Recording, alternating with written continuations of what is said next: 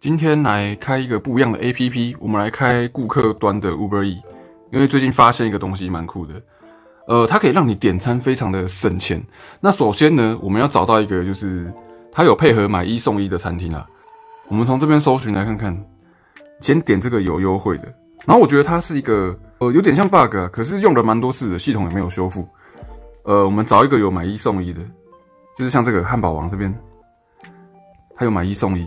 然后我们现在都是，呃，优惠码都是要消费满三九九才能用嘛。我这三张都是三九九，然后到五月底就没了哦。所以现在想尽办法赶快把它用掉。它要满三九九，但是我发现这个买一送一的这个，呃，起司牛堡套餐，如果你是买一送一的话，你丢一个进去，它购物车会有两个嘛？那它并不是以一九九去计价，它会用原价去计价，它会用一九九乘以二，也就是。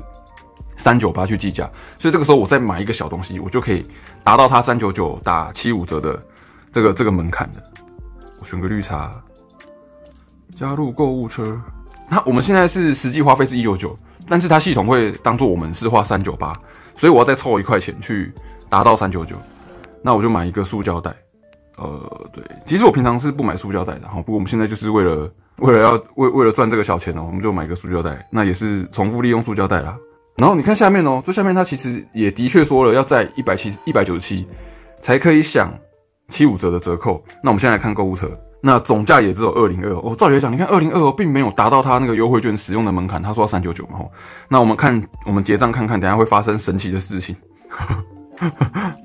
很神奇哦！你看他这边优惠，竟然帮我打折了，打七五折。其实我根本根本就没有买到三九九，可是你看它的 bug 就在这，我的消费金额是二零二，明明没有三九九，他还是帮我打七五折。结果你这样看，我买了两个套餐，我竟然只要花一百四十五块，就就是这么便宜。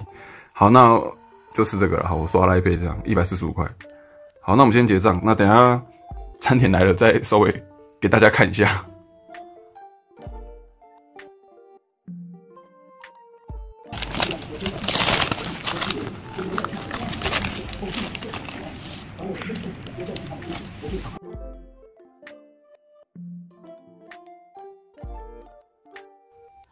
好，拍这样。我传给你啊，你没有看我 line？你看，你你继续看我 line。哦。我传到三。